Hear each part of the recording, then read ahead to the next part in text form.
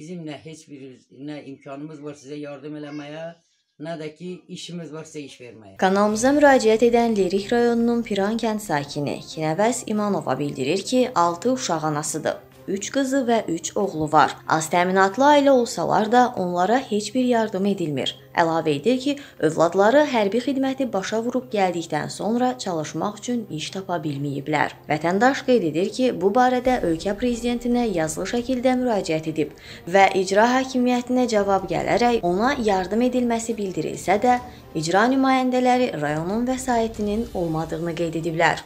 Özüm xəstəyəm. Ürək infarktım var. İlk dəfə ürək infarktı keçirtmişəm. 3 uşağım, 3 oğlum var, 3 qızım.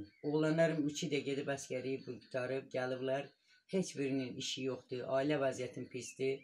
Heç biri heç bir bizə iş vermirlər. Sizə 2 il bundan qabaq gəlmişsiniz Lerikə. Mən 20-də sizə əvvəl məktub vermişəm. Məktubun cavabını siz icra hakimiyyətə göndərmisiniz. Onlar da gəlib məni çağırdılar. Dedilər ki, bəs sən şikayət eləmisən? Prezident bizə heç bir vəsait vermir. Dedim cənab prezident bəs belə qanun çıxartdı imkansızlar üçün iş, iş yeri, yardımda. Dedi bizim nə heç bir nə imkanımız var sizə yardım eləməyə, nə də ki işimiz var sizə iş verməyə. Harda da dindirirsən işi pulla satırlar. Mənim də imkanım yoxdur. Özüm 230 manat pensiya alıram. O 200 manatla mən necə iş alım? İcra nümayəndəsinə gedirsən, deyir, ver falan qədər ver, iş verim sənə. Şikayətçi kanalımız vasitəsilə ölkə başçısı İlham Əliyevə müraciət edir. O, övladlarının işlə təmin olunmasında yardım edilməsini xahiş edir. Mənim səsimə səs verərdiniz.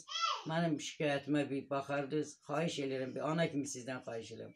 Mənim vəziyyətim acınacaq vəziyyətdir. Yaşamaya imkanım yoxdur. Ev şəraitim pisdir. Uşaqlarım heç bir yerdə işləmir, işsizdirlər. Hərəsinin də ailəsi var. Yaman gündə yaşayıram. Acınacaq gündə var yaşayıram. Mən savadsız adamam. 60 yaşım var. Prezident, siz cənab prezidentlə həm yaşam mən. Bağışlayın, mən bu elə sizlə həmyaş olduğumuza görə mənim səsimə səs verərdiniz.